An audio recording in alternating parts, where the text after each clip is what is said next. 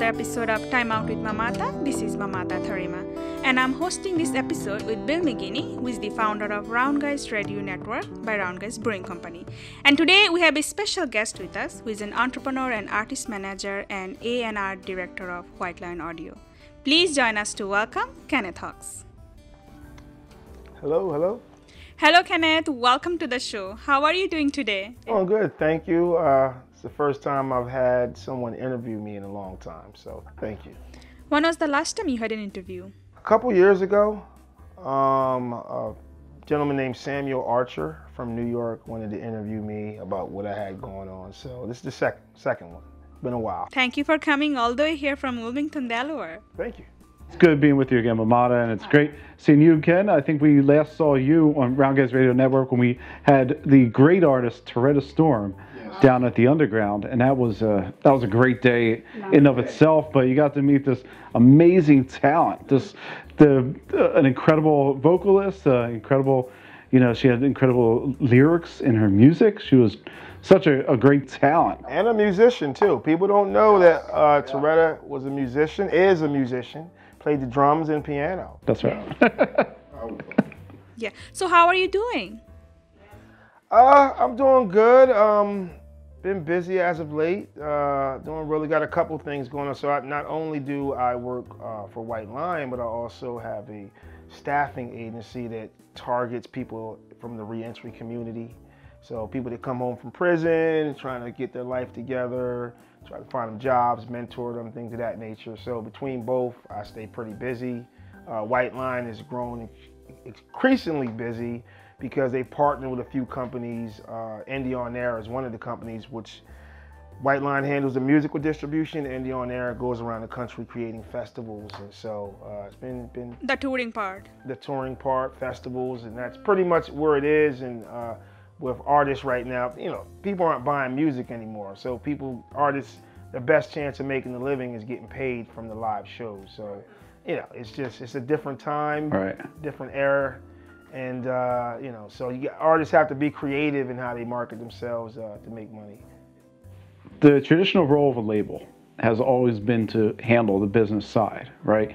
And the musicians will go out there and essentially be creatives and perform, and that was the trade-off, right? That was the contract. Has that changed? How's that relationship developed? dramatically changed because labels aren't making the money that they used to. Uh, when, when Napster came in, that changed the dynamic completely. I'm not sure how old you guys are, but Napster, when streaming came in, it dramatically changed the dynamic of labels. Uh, really, the labels that are thriving are the smaller indie labels that are really thriving. Uh, back in the day, the labels would handle the, the marketing, the booking, the touring, the A&R, and all that, all that good stuff. But now it requires artists to be, I call them hybrid artists. You have to be a hybrid artist. You have to be an artist slash business person. You have to. And uh, more of labels now, even according to one I work for, it's more of a partnership. You know, we're gonna do this, you guys do that. We're gonna work together for the for for the ultimate goal or result. Is there a select strategy as a musician coming out in the post-COVID times? You're not to really. You look at Spotify. That's like an awareness campaign. That's top of funnel. You're not making any money. How so? How are you going to get out there as a musician and break through all the noise? How do you do that these days? Uh, consistency, and I'm just keep it real with you. You know, definitely want to have a, some type of budget. You want to put up, if you got a band of five people, each of them can put up two or three hundred dollars to market. You have to have a budget to market yourself. That's not just in music. That's in any business. Oh yeah. The artists have to understand that this is their business. Right. You know, if you really want to take it a step further and go beyond just playing in local bars, which is nothing wrong with that. But if you want to take it a step further, the touring and things of that nature, you're gonna have to invest in budgeting yourself and marketing yourself. I, unless someone can show me different, there are miracle stories where you were at the right place, the right time, somebody saw you, and you just blew up. But those things are few and far between. It takes hard work, planning, strategy, marketing, and making building the right relationships. That's that's just really what it is. All right. You said business, and I think that's what a lot of people don't realize when they get into music. Right. That's you're exactly right. And I, you know, I'm a creative person, you know, uh, in the creative, the creative community, there, there's a different frame of thinking from the business community. Um, uh, understanding that yes, I am creating this. This is fun, and it was fun when I created it. It was it's fun when I recorded it. It's fun when I'm performing it. But to take it to the next level, you have to think of it as a business, and you just you know, and the ones that do are the ones that make it. You know, you have to have a plan. You have to just like if you if you're gonna build a construction company, you're gonna develop a business plan. In music, you're gonna have to develop a plan or connect with people that can help you do that. And there's people out there to help. You know, White Lion Audio, we help artists to market themselves and teach them how to market. And we also art, offer services as well. So, you know, it's a it's a balance. Mm-hmm. Right. It's a balance. Um, now it's never a solo project. Everyone has to work together to get the success. Yeah. Every, I mean, you guys are working together. You know, I came into this beautiful space and everyone had their their job. It's the same thing. Yes. Right, right. So if I'm an up and coming musician or someone who someone who's looking to bring myself up, what is the benefit of me going to White Lion? The benefit is it's saving you time and effort. You know, if for instance, if you doing radio campaigns, Spotify campaigns, press releases, helping you to get in festivals and touring situations, that's the benefit where normally you would have to do all that stuff yourself. And we sit down and say, understand what do you want to do? What are you trying to do? And we find ways to help you do that. And you are the middleman between the label and artist, right? Artist and repertoire. Repertoire, right, right. So, um, so artists have to submit their music to you first before it goes to the label. Yes, per se. Um, obviously, artists submit. We, we want to like the artist as well, but it's it's also marketing as well. So that they will come to me and I'll review the music. Uh, sometimes we have festivals that we submit the music uh, to or the band to, and they have to meet their qualifications. So I kind of screen that. But really, if you're an artist and you just need some, say you just need some marketing, you don't want to be with the label. Okay. We can just market you you know, and it's kind of a, a, mutually beneficial situation. So when you review their music, what do you look for? Like anything, something different that you didn't have, something unique? Well, since I'm a manager, mm-hmm. you know, because I also manage artists as well outside of working for the label. Me personally, I'm a sucker for soul singers. I, I just love soulful singers. I think soulful singers can sing anything a soul the versatility of a soulful singer is like like Terretta is, is none other. She can sing soul R and B or she can sing a metal song. Her range is that wide. Yeah. And uh, I I'm not gonna lie. I, if you look at my history, I'm kind of my Nitro Nitra is a soulful singer, even though she's doing rock and pop. So yeah, that's my preference. But then again, the range of metal vocalists. I mean, their their range is, is phenomenal. A lot of them are classically trained vocalists. So you know. Just... One time you said you are a hip hop artist, right? She's good. She's good. Um, yes, I one time was a hip hop artist. Okay, so what happened to that? You know, uh, just uh, I guess the direction of the industry. You know, I, um, I, I consider myself more of a conscious type of rapper. And just, I think around 2006, it just kind of my focus started changing a little bit and I started writing other genres of music and rock and you know things of that nature. I don't know. I just I still freestyle from. I'm not gonna rap, but the passion to do it uh, uh, fully is, is not there no more. But I love hip hop. So you're also a composer. Yes. Wow. Okay. So did you write for any of the artists that you work with, or they have their own composition? Not Nitro, not Nitro Nitra, not her, uh, but I have written for Terretta Storm. Wow, really? Which one is yeah. it? Yeah. Take Me Home. Wow. Yes, and if you think about it, I wrote that. Let me give you a little history of myself. There was a time in another life when I made some bad decisions trying to get money, ended up in jail. I was married at the time, what led up to this, I was married, and family, and uh, we had a house, and you know, the, the American dream, I yes. guess. And, um, you know, just hit some difficult spots financially.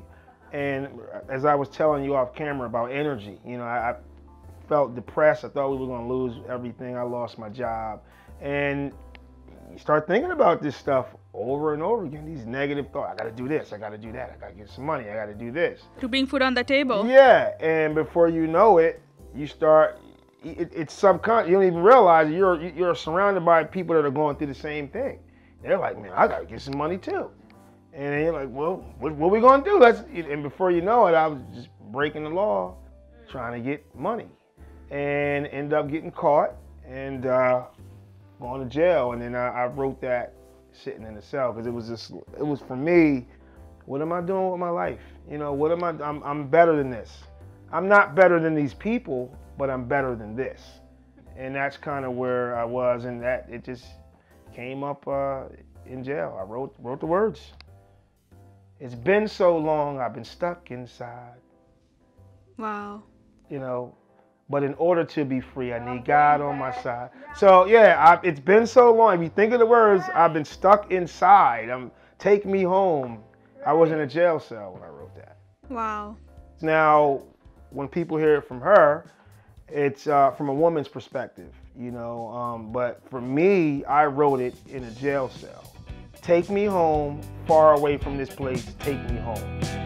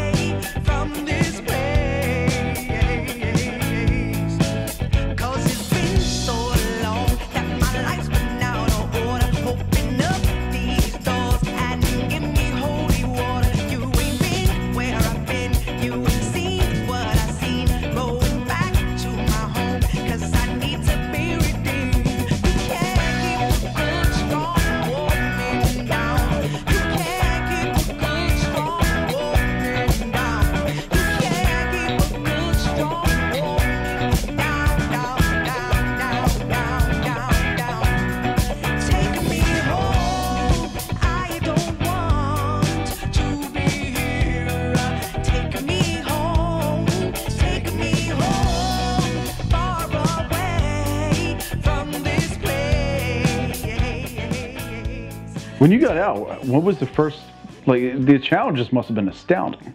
And what were those first challenges, like, what were you thinking when you got out? Well, by the grace of God, I had my grandmother. God bless her soul. She's passed now, but um, I lost everything while I was in there. My wife at the time, she, I didn't sign up for this. She left, and uh, so I came home literally with nothing. And by the grace of God, my grandmother, she had wrote, written me constantly while I was in there. And she would send me like encouraging words every month, and she said, you know, you can come here, you know, and you know, you made a mistake. So I literally started all over. I just started all over. So why don't you tell us? I know that it's a, if you're open to it, I know it's a funny story of how you met Terretta. Oh my God, you guys are digging deep. okay, so um, I ended up getting involved in reentry. I was uh, at a community center at that time and had a, a reentry program. And one of the things we would do is if we didn't hear from a guy for maybe a week or two, we would call them and uh, and follow up with them. Hey, I'm checking on so and so. How are you doing? Because you know they're on probation and anything could happen. So they could go back to negative influences. Anything could happen. So we just our job was to kind of stay on top of guys, keep checking on them. And uh, so I called her by mistake. And I forgot the guy's name, and I said, "Hey, is such and such there?" And the woman was like, "No, uh, you have the wrong number." And so I, I apologized, and uh, when I hung up, I was like, man, she has a nice voice. And, uh, you know, I, yeah, I was on the hunt a little bit, you know, so I said, uh, so I said, hmm.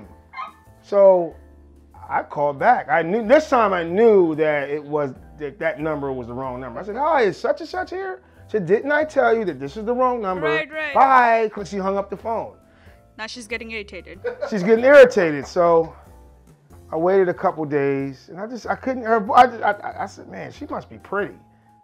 I said, I, said, I, said, I just, I'm serious.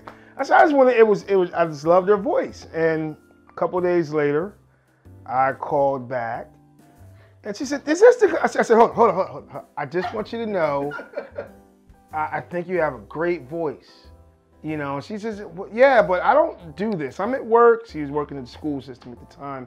And uh, I just, I said, this, can you sing? You just sound like you can sing. This is true story. And uh, she paused. She's like, this is weird. I said, no, I, can you sing? And she said, yeah, I do sing. And, you know, I said, well, can I call you? She said, I'm working. Can I call you when you get off? She said, I don't really do this, but so I called her and she sang for me. Wow. And uh, I was blown away. So it took about a week, but I convinced her to meet me in a public place. And we met at the Wilmington Library. And that's how we met All right. Ken, you're working in the community center, and you're at that time. right. This this is your this is your program. Yeah. And it's two strands of your your current life that kind of braid themselves, right? You have you have the um, helping out your your community, right? And then you have another side doing the music. Now, how did they come together? You know, when I was in jail, I, I just felt that even though I'm in there, I am called to do something great. I'm at my lowest, but something in my spirit, God or the universe, wherever you, I felt that I'm called to do something. I felt that I was put here to do something magnificent. And really, we all are. We just got to tap into it. And that at that point, I just realized that I had been wasting my time and I hadn't been tapping into what I was called to do. And when I came home, I just became relentless. And I was living with my grandmother. I was just going around to different community centers. Hey, I, wrote up a program. I got a program for people in the reentry, you know, because in jail, I, I, I saw like families in jail, fathers and sons. It's a generational cycle. Yeah. And uh, so I have been doing that and meeting Terretta, uh, it kind of just kind of came one and one and it coincided, so to speak. Sometimes that, that crisscrosses, you know. Um, I would love to do like events where it's kind of a positive, empowering event, and but also have music involved, bridge the two communities. So um, I just, I guess it just happened. So, so the the business mentality and how all this. Do you, anyone in the family has that? That My mother, okay, yeah. I, my mother and my brother will tell you the same thing. Uh, my mother just has that. She's a hustler. She's always different business ideas. Throughout my life, I've seen her um, just, you know, jumping from there. She, she's like me. She gets a hunch and she'll run with it. And so that I, I would say I get from her. So why why music? Why you chose music? Like you can be a, a businessman in something else, but why you chose music? I love creative people. Okay. I just love being around creative people. I love art. yeah. I love. I think that the creative community, creative community, has something figured out that the rest of the world hasn't. I mean, look at us, three different races mm-hmm. in here. We're part of the creative community, and Yeah. we're talking. You know, I think the creative community, and it's not to say that we don't have, we do have a lot to work on in the world, but I think the creative community is a little bit ahead, a little bit ahead. Yeah. you know um, and that's so i just i just like it. Whether it's singing art drawing painting composing whatever you want it's i just like the creative community. Me a business is creative it's it's taking an idea that you thought of and building it that's creativity to me But it's hard to make money in that creative field. Like just because you have talent and creativity, you don't end up making 40k yearly. it is You know. It is. It's it, it's it's it's tapping into. I- Well, here's what I think. It's all about relationships. It's building the right relationships. I think that's key. Somebody told me the other day it's easier to maintain a relationship than to create a new one. So I think for the people in the artistic world to create these relationships where they can get their, their, their talent or artistry out there, whether that be by sponsorships, whether that be partnering. There's a lot of people. You'd be surprised how many people want to invest in you. Yeah. Think about it. You're a teacher, right? You're teaching music. I mean, you could get there's grants out there to help build what you're doing for helping the community. You just have to think this is what I need and this is what it's going to take, and put it out there, and ask. Don't sell yourself short. Right. Ask for what you want. Ask for what you need. So Ken, what should we be on the lookout for now? What what is the music that we should be looking for coming out of White Lion that you are pushing out that we're gonna be all stoked about? Second Echo, alternative band from Las Vegas, Nevada, Tru Soul Davis from Cleveland, Ohio, and Nitro Nitra, who is from the Philadelphia area now living in Delaware. Excellent. Yeah, those. And also look out for Terretta. Uh, keep her in your prayers. I still make sure she's good, still take care of her. She's in rehab right now. Um, I go see her every week, keep her in your prayers, and I'm hoping that um, one day she'll be able to sing again. I thought that was incredible when we had the initial interview, and this is 2018 on the Round Guys Radio Network. Terretta Storm, uh, one of the early ones we did for that show actually, and when the- initial interview with Terretta, she she was so authentic in the way she told her story, and a lot of people will try and hit that, but I think a lot of people are guarded and they might have some walls, but Terretta didn't. And Terretta was right to the point and she was very open and you could just tell. This is natural. Yeah, very much a natural. Yeah. Yeah. When I listen to her music, I feel like engineers don't need to do so much. Mm-hmm. You don't need so much mix in her voice because if you do, you're No. just only gonna make it bad. No auto tune. Yeah, you don't need it. As, as he said, her story is authentic as well as her music is authentic. Yeah, we would get in studios, and sometimes we would people they would want to put different effects and kind of make. We we just didn't want any of those. A lot of the stuff they use. we just wanted to keep it raw and gritty, you know. And that I don't know if that was a helped us or hurt us, but it just you know we just wanted to keep it authentic and not too much crazy effects and stuff like that. Some some singers do need it, and there's nothing bad Nothing to bad that. about it. Yeah, it's just everyone has different type, different style, but she doesn't need it. No.